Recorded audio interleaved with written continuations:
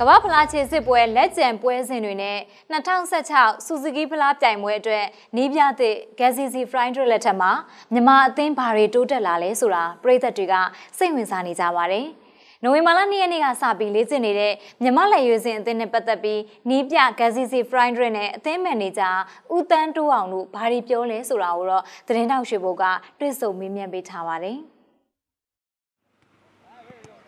ဘာဖလားခြေစစ်ပွဲရှင်ပြိုင်ကစားဖို့လေစင်ကစားသမားတွေဟာနီးပြသစ်ဂစီစီနဲ့အတူနိုဝင်ဘာ2ရက်နေ့ကစတင်ပြီးလေ့ကျင့်ပြင်ဆင်မှုတွေပြုလုပ်နေပါတယ်။လေစင်အသင်းကိုလေ့ကျင့်ရတဲ့အခါမှာလူငယ်အသင်းလိုအမြဲလေ့ကျင့်လို့မရပဲလိပြီးမှလေ့ကျင့်ခွင့်ရတဲ့အတွက်အခက်အခဲတချို့ရှိပါတယ်လို့လေစင်နီးပြသစ်ဂစီစီဖရိုင်ဒစ်ကပြောပါတယ်။ against Laos. And uh, normally အ the ရင်ကလူငယ်အသင်းထက်ဆိုင်တော့အခက်အခဲတချို့တော့ရှိပါတယ် 17. လူငယ်ကစားသမားတွေဆိုလိကစားရတာမရှိတဲ့အတွက်လေ့ကျင့်လို့ရပေမဲ့လက်ရွေးစင်ကစားသမားတွေအတွက်တော့လိနာမှလေ့ကျင့်လို့ရပါတယ်အဲ့ဒီအတွက်လည်းနောက်ပိုင်းမှာကိုယ်စံပြောင်းပြီးတော့လာမယ့်နှစ်တွေမှာတစ်လကိုတစ်ကြိမ်လောက်တော့အနည်းဆုံးလက်ရွေးစင်ကစားသမားတွေကိုစူးစီးလေ့ကျင့်သွားဖို့ရှိပါတယ် Chance in the, in the coming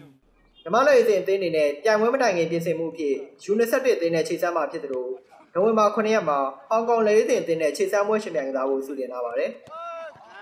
လက်အစဉ်အသင်းရဲ့ချိန်ဆပွဲပြင်ဆင်ထားမှုတွေနဲ့ပတ်သက်လို့အသင်းအုပ်ချုပ်သူဦးတန်တူအောင်ကအခုလိုပြောပါတယ်။ဥမာခင်ဗျားတို့မြင်တဲ့အတိုင်းပဲဥမာ17ယောက်ပဲရှိကိုတို့မှ4ယောက်ပါအောင်နော်အဲ့တော့ net ပြင်ကြကြတော့မှလူရှုံမှာ net ပြင်ကြနေ6နိုင်မှာဆို U21 နဲ့ပြေးထားမှလည်းဒါမှပြီးတာနဲ့ကျွန်တော်တို့ကတပတ်ခံမှာ live training လုပ်ပြီးတော့မှကျွန်တော်တို့9မိနစ်စောယူဟောင်းဟောင်းသွားမှာဟောင်းဟောင်းကြမှာပဲကျွန်တော်တို့ကထိချာပြင်တင်မှုတော့ live training လုပ်ပွဲကစားပြီးတော့မှကျွန်တော်တို့ကိုရီးယားနဲ့ကိုယ်ပွဲကိုပြင်ရတော့ မြမလက်အစဉ်အသင်းဟာကမ္ဘာဖလားခြေစစ်ပွဲလက်ကျန်ပွဲစဉ်တွေဖြစ်နိုဝင်ဘာ12ရက်မှာကိုရီးယား18ရက်မှာကူဝိတ်မတ်လ29ရက်မှာလက်ဘနွန်အသင်းတို့နဲ့ရှင်ပြိုင်ကစားမှာဖြစ်ပါတယ်။